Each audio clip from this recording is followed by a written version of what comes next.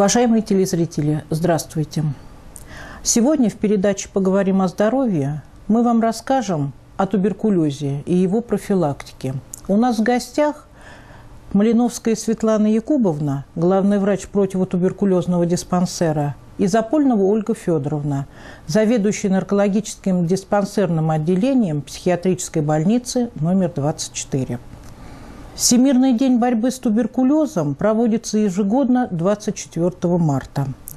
В этом году по предложению ВОЗ Всемирной организации здравоохранения он проводится под девизом «Борьба с туберкулезом продолжается. Используйте различные пути для ликвидации туберкулеза». Светлана Якубовна, расскажите нам, пожалуйста, что же такое туберкулез? Туберкулез – это инфекционное заболевание – причем хроническое заболевание, которое передается воздушно-капельным путем, это основной путь передачи. Вот. И в основном поражает, в 95% случаев поражает органы дыхания, легкие. Хотя бывает и так, что туберкулезная палочка поражает и другие органы, а, это может быть и костный э, туберкулез, и, нерв, и туберкулез нервной системы, и туберкулезный менингит, и туберкулез мочеполовой системы. То есть, в принципе, любой орган а, в организме человека может быть поражен туберкулезной палочкой. А, Светлана Якубовна, а кто же является возбудителем туберкулеза? Как долго сохраняется этот возбудитель туберкулеза в среде обитания человека? Возбудителем туберкулеза является микобактерия э, туберкулеза или палочка Коха.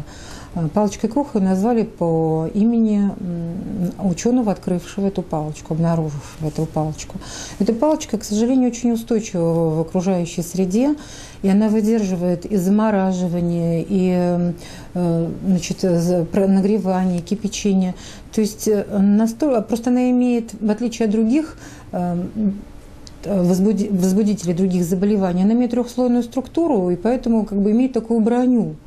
Вот, и поэтому а, она как бы становится такой устойчивой. Во всем мире зарегистрировано большое количество туберкулеза, хотя и считается, что за последние три года снизилось. Вы расскажите, пожалуйста, много ли туберкулеза среди населения Московской области и нашего района?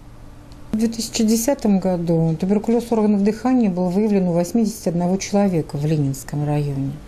Вот. И из общего числа больных э, мы как бы и делим на впервые выявленных больных, то есть больных, у которых туберкулез выявлен впервые в жизни и впервые в нашем районе. Это 65 человек. А вот, к сожалению, у нас еще и жители других территорий, это прибывшие к нам из других территорий, это три человека. И еще иностранные граждане, которых мы обследуем, это вот гастарбайтеры, которые приезжают, люди, которые стремятся получить здесь вид на жительство. Это вот пять человек у нас, ну, на учет мы их не берем, мы их просто фиксируем, извещаем определенные учреждения, там, министерство, Роспотребнадзор, и дальше, в общем, предполагать, что эти люди должны уехать и лечиться по месту своей основной прописки, по месту основной своей регистрации. Каковы же факторы риска туберкулеза?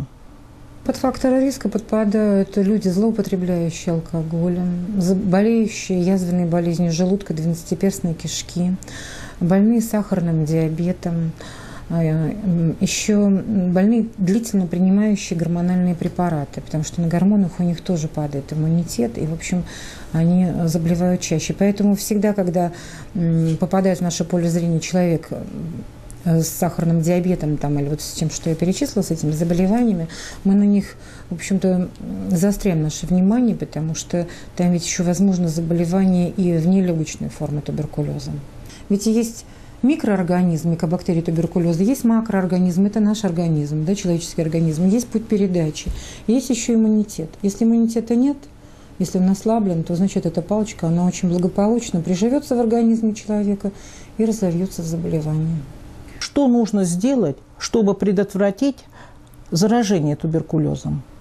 Стараться избегать больших мест скопления, стараться, если идет эпидемия гриппа, допустим, надевать маску в метро, в общественном транспорте, не перекусывать на ходу. Купила булочку, там пирожок где-то в местах в общепите и не помыв руки, э, мы заглатываем скорее, потому что хочется как-то утолить голод, да?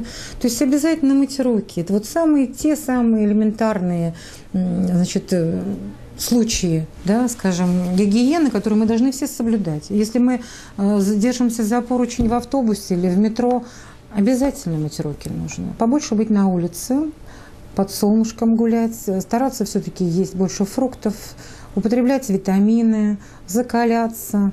Это вот все то, что необходимо нашим детям и нам самим для того, чтобы как-то свой иммунитет повышать.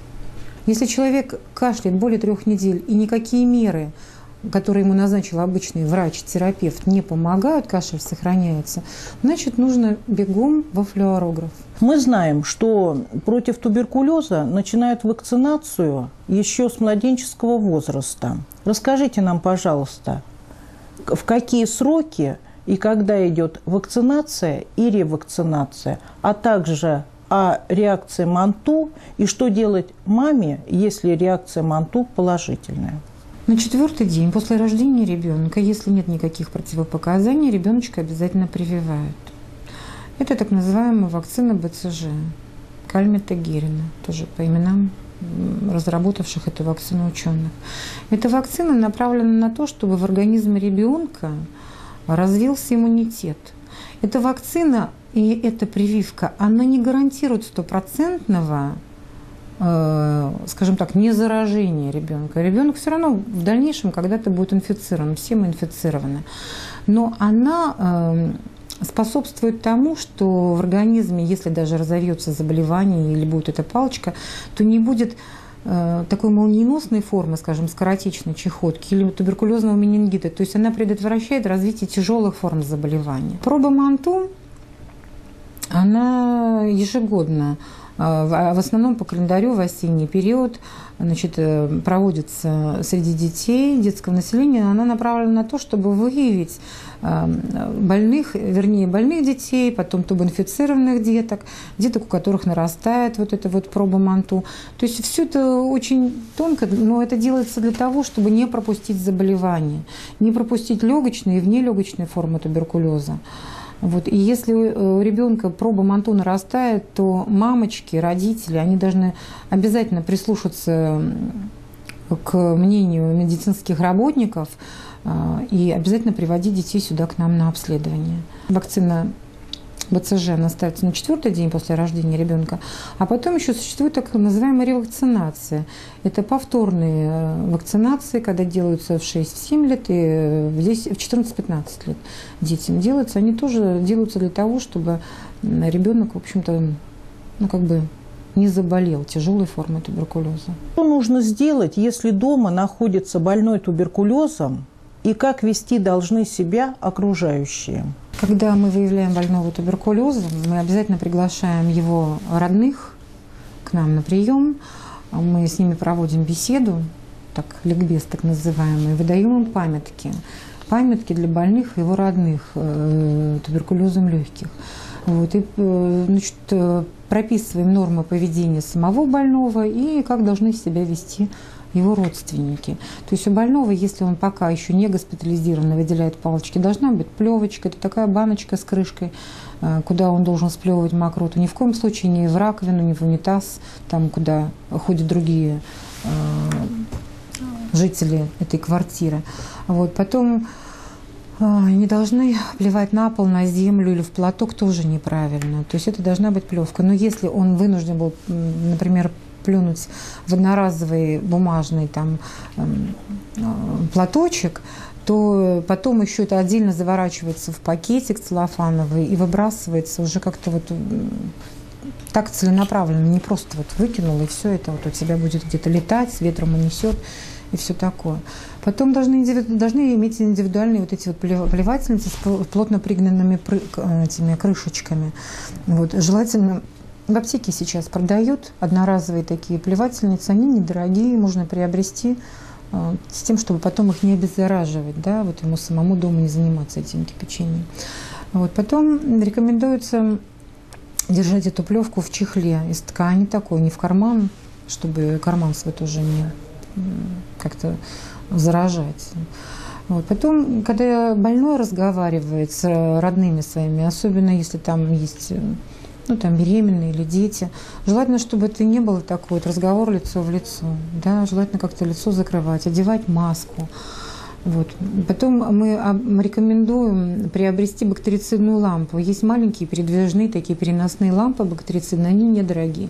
Либо мы даем на прокат скажем так, тоже даем тем, чтобы они, пока больной не госпитализирован в лечебное учреждение специализированное, чтобы они имели возможность дома провести э, такое обеззараживающее такие мероприятия. Светлана Кубовна, расскажите, пожалуйста, излечим ли туберкулез? Туберкулез излечим. Туберкулез излечим, главное вовремя его выявить. Если это малая форма, она излечивается очень быстро – с наименьшими затратами времени, с наименьшими финансовыми затратами и нервными затратами. Человек на самом деле просто забудет о том, что он когда-то болел туберкулезом. Вот. Но если это запущенная форма туберкулеза, то, к сожалению, и в наше время люди умирают от туберкулеза, но это в основном происходит по вине самого пациента. Тогда, когда он асоциальный, тогда, как он алкоголизируется, не э, принимает в должном э, количестве и в должном объеме препараты, Тогда, когда человек просто не хочет сам лечиться. Светлана Якубовна, э, большой вопрос, э, конечно, о профилактике туберкулеза. Расскажите, пожалуйста, об этом. Сейчас, значит, введены вот эти профосмотры, и это тоже нужно обязательно соблюдать.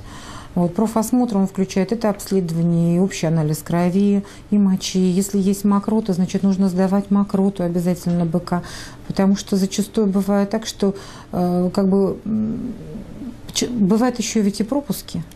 Бывают и пропуски э, во время флюорообследования, к сожалению. Такое тоже бывает. Или человек не может сделать флюорографию, бабушка, допустим, долго лежит э, дома, не ходячая, а кашляет. И вот если человек э, длительно кашляет, значит, тоже нужно думать о том, что надо его мокроту исследовать на наличие микобактерий туберкулеза. Ольга Федоровна, Расскажите нам, пожалуйста, курение, алкоголизм и наркотики, они являются фактором риска туберкулеза? Почему? И какое действие оказывает туберкулез именно на этих больных? Злостный курильщик обращается к фтизиатру уже поздно, когда, как правило, развился туберкулез э, легких. Это связано с тем, что появившиеся первые симптомы туберкулеза он связывает с курением. Э, кашель, часто с мокротой, он уже привык к нему, не обращает на него внимания. А в плане лечения курящие больные гораздо неблагоприятнее в связи с тем, что угарный газ, который содержится в табачном дыме, он э, приводит палочку Коха в латентное состояние, плохо подвергающееся лечению. Лица, злоупотребляющие алкоголем, имеют множество проблем э, со стороны внутренних органов. Это нарушение белкового обмена, гиповитаминозы, что тоже является ослаблением, фактором, ослабляющим иммунитет. Вдобавок к этому можно сказать, что первые проявления туберкулеза больной алкоголизмом путает с проявлением обычного похмельного синдрома и в связи с этим не обращается за помощью. Больные наркоманией мало того, что имеют множество сопутствующих заболеваний, осложнений со стороны внутренних органов, часто ведут асоциальный образ жизни. Общаются в тех э, компаниях, в тех кругах, где э, возможно нахождение уже инфицированных, уже больных людей. И поэтому риск инфицирования и развития заболевания туберкулезом у них гораздо выше, чем у других людей. Ольга Федоровна, расскажите, пожалуйста, как часто возникает туберкулез у ВИЧ-инфицированного больного – и влияние одного заболевания на другое. ВИЧ-инфицированные больные очень часто заражаются туберкулезом. Это связано тем, что, с тем, что вирус иммунодефицита человека разрушает лимфоциты, моноциты. Это самые главные защитники нашего организма э, против туберкулеза. Если у человека было просто инфицирование туберкулезом, но он заражается еще и ВИЧ-инфекцией, то, как правило, туберкулез э, переходит в активную фазу. Порядка 60% больных СПИДом также являются больными туберкулезом. И, как правило, туберкулез у этих больных протекает нетипично. Это всегда тяжелые формы, деструктивные, которые крайне плохо поддаются лечению. И сочетание вот этих двух тяжеленных заболеваний СПИДа и туберкулеза, как правило, приводит к смерти. Дорогие друзья, знание профилактики туберкулеза, знание факторов риска, знание тогда, когда вам нужно обследоваться, поможет вам не заразиться этим инфекционным заболеванием. Будьте здоровы. До свидания.